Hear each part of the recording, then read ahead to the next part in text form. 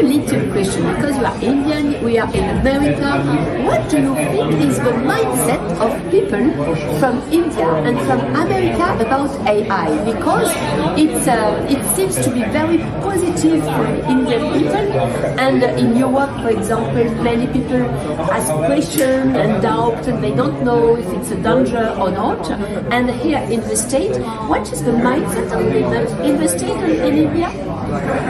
So I'd say that ChatGPT's top two user countries are actually the US followed by India. So I think it goes to show that there is a reasonable amount of acceptance for uh, these tools. Macro indicators like internet penetration, 4G, 5G, uh, smartphone penetration all show that India as a country is very well equipped to adopt some of these technologies. Having said that, I think the nature of businesses in India is slightly more, let's say, manufacturing and agriculture focused. Services is a relatively smaller part of the GDP stack.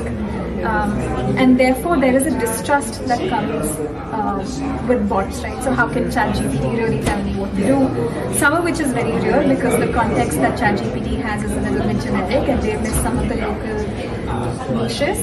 Having said that, it's a very young country, like 50% of our population is under the age of 25. Uh, all of these guys have a smartphone.